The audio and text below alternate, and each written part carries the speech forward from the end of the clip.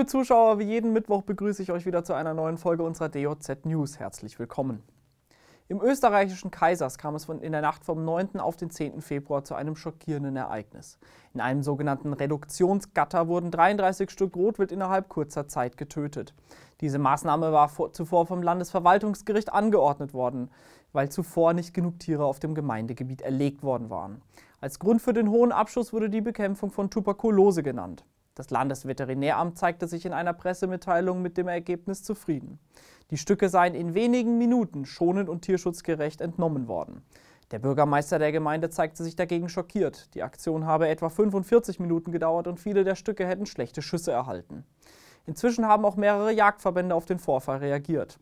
Unter anderem die Tiroler und Salzburger Jägerschaft sowie der Bayerische Jagdverband. Allesamt verurteilten die Maßnahme aufs Schärfste. Um die ASP ist es in den Medien wieder etwas ruhiger geworden. Doch das Virus breitet sich weiter aus. Auch in der vergangenen Woche wurden in Polen wieder zahlreiche Fälle nachgewiesen. Die neuen Nachweise fanden allesamt im Osten des Landes statt. In der Nähe der Grenze zu Deutschland scheint die Lage derzeit unter Kontrolle zu sein. Trotzdem rüsten sich die an Polen grenzenden Bundesländer weiterhin. In Sachsen wurde jetzt das THW angefordert, um beim Zaunbau zu helfen. Dieser soll an weiteren 80 Kilometer der Grenze aufgebaut werden. Knapp ein Jahr ist es her, dass ein Jäger von Polizisten auf einem Friedhof in Bochum in Nordrhein-Westfalen erschossen wurde. Das eingeleitete Verfahren gegen, den, gegen, die Beamten wurde bereits am 31. Januar diesen Jahres eingestellt, wie aus einer nun veröffentlichten Pressemitteilung der Staatsanwaltschaft Bochum hervorgeht. Ermittlungen des Polizeipräsidiums Essen hätten ergeben, dass die eingesetzten Polizeibeamten von einem gegenwärtigen Angriff des Jägers ausgehen konnten. Daher sei der Schusswaffengebrauch aus Gründen der Notwehr rechtens.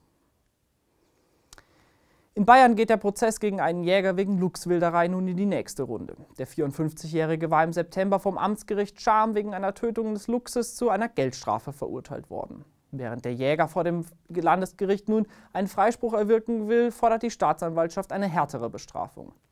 Der Jäger könnte mit seiner Forderung Erfolg haben, denn nach den Angaben eines Richters könnte die Tötung des Luchses bereits verjährt sein.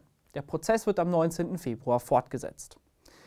Das waren wieder die wichtigsten Meldungen der vergangenen Woche. Vielen Dank fürs Einschalten und bis nächsten Mittwoch. Bis dahin, Weidmanns Heil.